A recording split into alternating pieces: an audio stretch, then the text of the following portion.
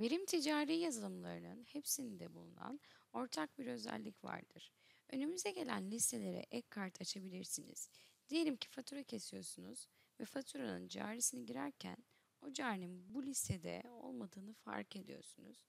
Diyelim ki sağ tuş satış faturası diyerek cari listemize geliyoruz. Carimiz burada yok diyelim. Cari kartlar modülüne gitmeden cari listesinde sağ tuş yeni kart diyerek cari kartınızı oluşturabilirsiniz. Fırat Esen diyelim. Kaydedelim.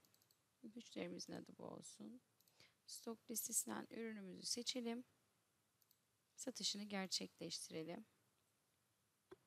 Aynı şekilde bir faturaya stok kaydederken stok listesinde olmayan bir ürün olduğunu fark ettiğiniz zaman stok modülüne gitmeden kayıt yapmak zorunda değilsiniz.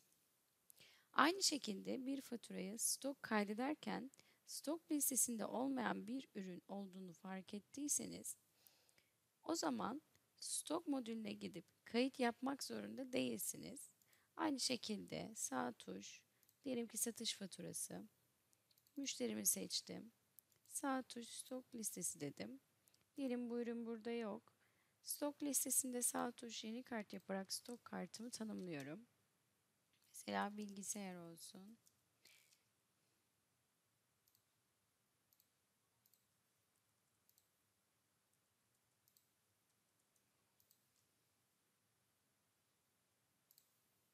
Kaydettim. Bilgisayarımı seçtim. Toplamda bir adet. Stoğumda olmadığı için rengi farklı oldu. Kaydet dediğimde bu şekilde stok kartını faturada girebilirsiniz.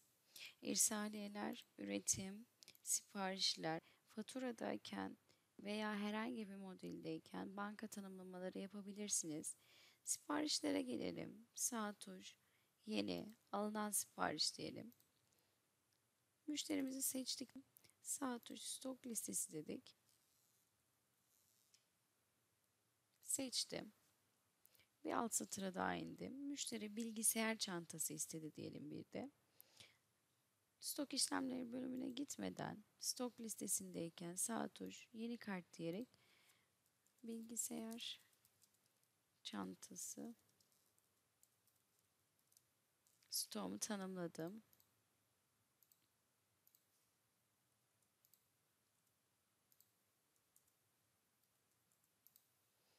Ve kaydettim. Bilgisayar çantasını seçtim. Gördüğünüz gibi satış faturamda yer aldı. Ve kaydettim. Stok işlemlerine geldiğimizde stok listemizde listelenmekte.